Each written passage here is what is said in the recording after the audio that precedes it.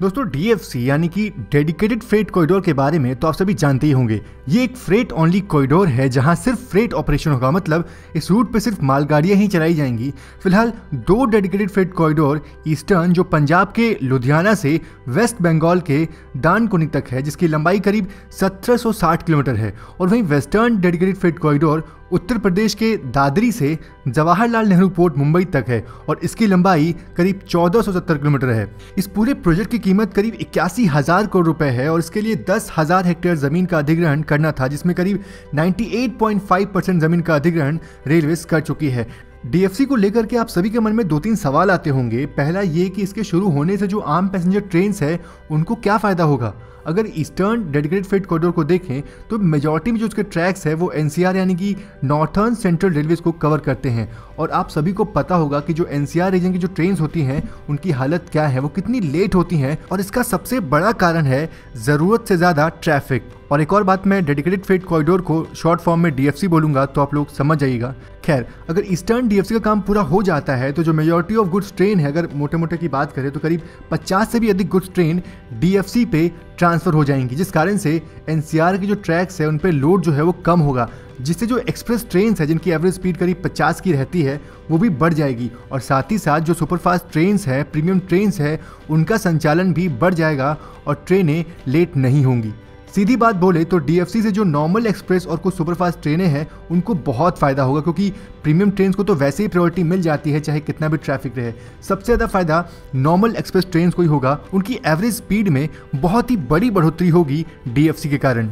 Passenger operation तो तेज होगा ही, साथ ही साथ जो गुड्स ट्रेनें हैं, जिनकी average speed normally 25 kilometre per hour की रहती है, उनकी एवरेज स्पीड भी 60 टू 75 किलोमीटर पर आवर की हो जाएगी। दूसरी बात यह है कि जो डीएफसी है, उनके ट्रैक्स और नॉर्मल ट्रैक्स में क्या अंतर है? देखिए, यहाँ ये बहुत बड़ा अंतर तो नहीं है, पर फिर मैं कहूँगा कि बहुत बड़ा अंतर है।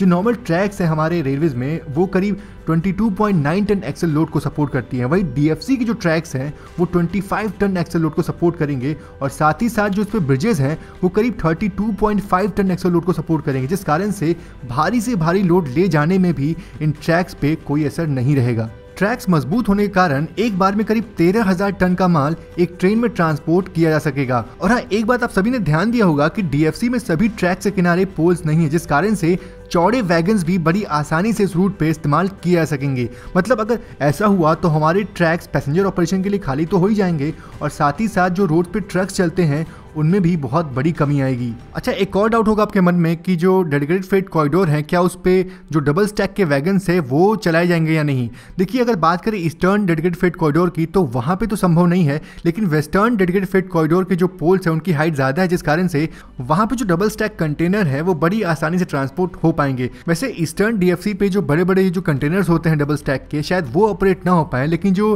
ड्वार्फ कंटेनर होते हैं, आप यहाँ पे देख सकते हैं, जो ड्वार्फ कंटेनर है, वो वहाँ बड़ी आसानी से ऑपरेट हो सकते हैं क्योंकि उनकी हाइट बहुत ज़्यादा नहीं होती। फ़िलहाल डीएफसी के बहुत सारे फ़ायदे हैं, जैसे इकोनॉमी को बूस्ट करने वाली बात हो गई। फुल्ली इलेक्ट्रीफाइड रूट होने के कारण से लेस कार्बन एमिशन वाली बात भी काफ़ी हद तक सही है। पर सोचने वाली बात यह है कि सारा जो काम है डीएफसी का, ये खत्म कब होगा? फ़िलहाल अगर बात करें ईस्टर्न डीएफसी की तो उसकी जो डेडलाइन है वो करीब 2021 के एंड तक है।